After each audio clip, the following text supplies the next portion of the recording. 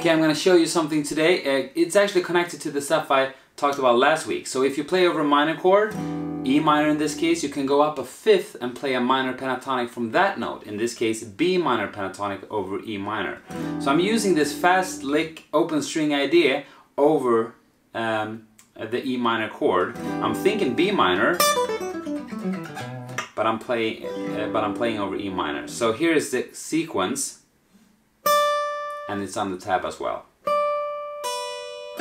Pull off. That's the shape. I'm thinking B minor pentatonic, doing this. Same shape here.